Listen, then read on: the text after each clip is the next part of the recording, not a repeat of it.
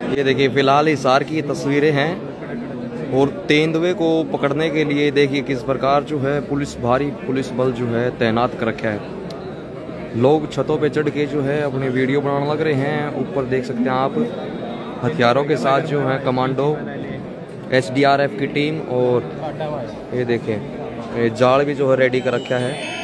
हिसार के अंदर मौजूद हैं, देख सकते हैं। और काफ़ी बारी तादाद में जो लोग झूम रहे हैं, पत्रकार अपनी कवरेज करने लग रहे हैं और देखिए किस प्रकार जो है जाल लगा रखा है दोनों तरफ़ से। उस तरफ़ भी जाल है, इस तरफ़ भी जाल है और देख सकते हैं किस प्रकार लाठी डंडियों के साथ जो है, लाठी डंडों के साथ आगे लगा रखा है।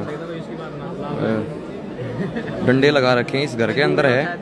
ऋषि नगर है हिसार का ये, और यहाँ पर देख सकते हैं आप किस प्रकार जो है, रेस्क्यू किया जा रहा है।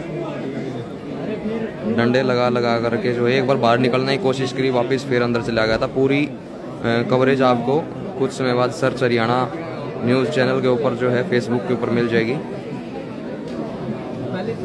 देख सकते हैं आप। सर्च हरियाणा भाई। सर्च हरियाणा हुआ दोस्त इंस्टाग्राम पे देख लो भाई सर्च हरियाणा सुमित शोरान है। सुमित चौरान भाई।